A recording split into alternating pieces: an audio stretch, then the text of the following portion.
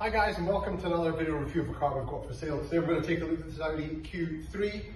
Uh, but before we do so, it's worth pointing out, we're obviously very much open from a showroom perspective, we are still delivering quite a lot of cars across the UK, north of Scotland, south of England, across the board just now. Uh, we can do finance remotely and we can do your part exchange if you've got one remotely. So in short, regardless of where you are in the UK, if you're interested in this car, get in touch and let's have a chat about it. Let's have a look at the car now. So this 16 plated Audi Q3, it's the S-Line model, black S-Line interior, it's got navigation as well. It's a really nice car. Let's have a wander around and a closer look at it.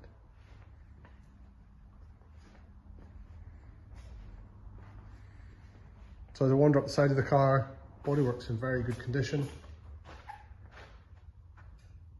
I can see we've got parking sensors on the back obviously a Quattro model.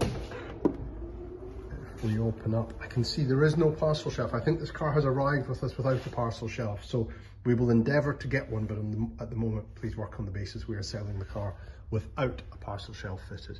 Uh, electric boot opening and closing there as well. And if I wander down this side of the car, I'm hoping through the picture you can see bodywork looks great there as well. And I can see we've got parking sensors on the front as well. And if we take a look at the wheels and tires, alloys are in excellent condition. Looks like there's plenty of tread on the tires as well.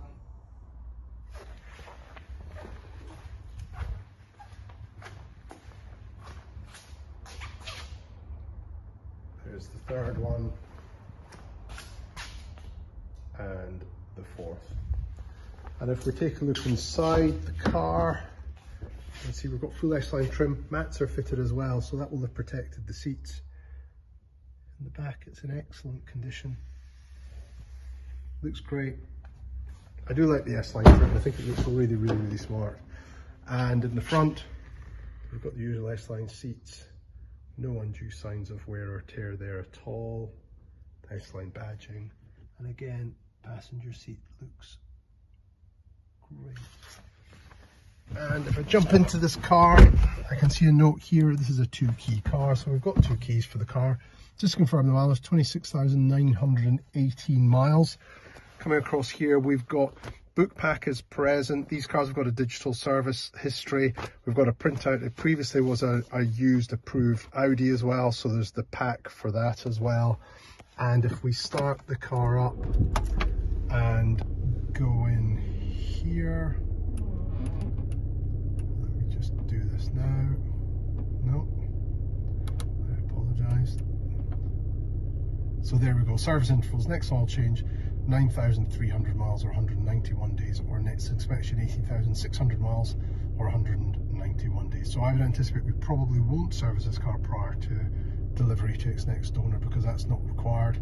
Um, if the car requires an MOT, that will be done and um, that'll make sure the car comes all ready. Um, if we just take a look through the controls of the car now, um, I can see we've got a multifunction steering wheel here with navigation and in-car entertainment and onboard computer controls here. We've also got cruise control down there. Um, if we move across and have a look at the in-car entertainment, we have got navigation. We also have a Bluetooth phone connection. Then we also have DAB and FM audio along with a media player as well. Um, moving down we can see a slot for CD player. There's SD1 has got the navigation in it and there's an SD2 for uh, media to play media as well.